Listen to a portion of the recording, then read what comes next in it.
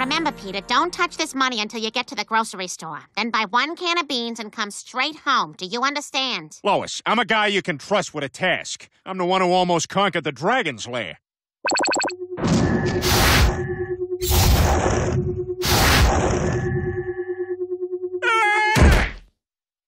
Dragon's Lair!